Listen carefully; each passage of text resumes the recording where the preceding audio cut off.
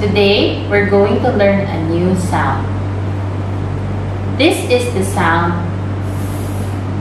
and this is how we write.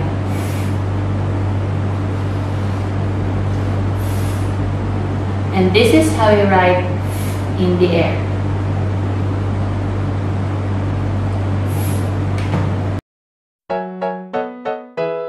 My friends and I went to the beach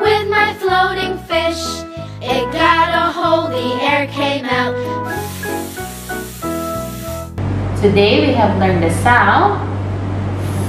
We're going to learn some more sounds next time.